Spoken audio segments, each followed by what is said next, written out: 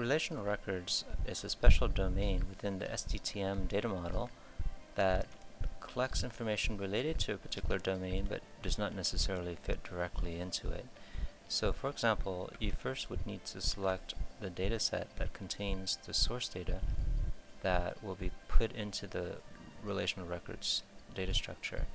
You can preview it prior to um, creating this structure by clicking on the preview button. In this case, you can see the actual first 100 observation of the data set. In this case, there's only 20.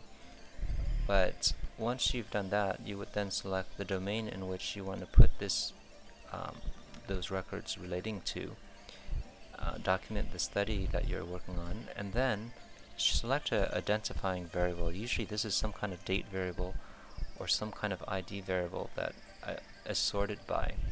And then you would also select the subject ID, in this case let's say patnum. Once you have selected those, click on OK, and this will create the data and putting it to the relational records dataset.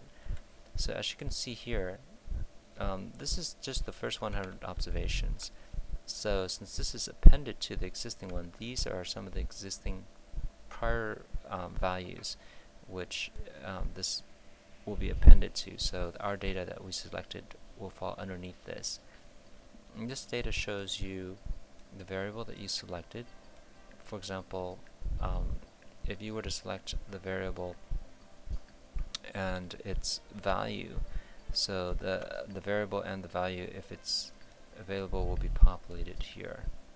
You can also preview this data by clicking on the preview button. It generates a similar report to what we've seen as the output that's generated.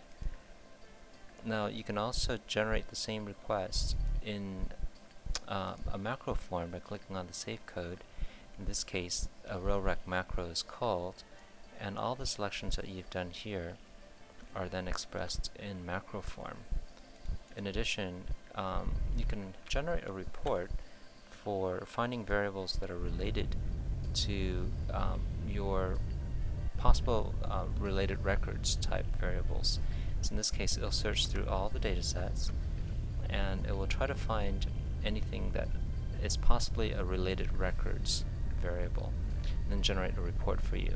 From that report, you can then select the variables and then generate the relational records dataset from from that those suggestions.